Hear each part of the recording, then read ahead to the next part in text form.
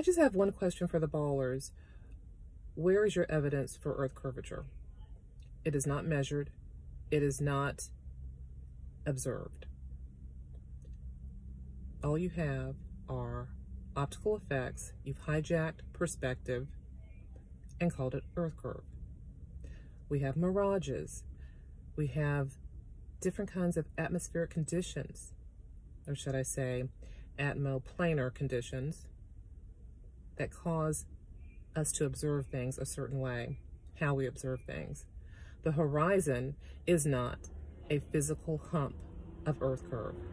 It is simply the limit of what we can see of the hor horizontal plane, of the horizontal plane. That's it.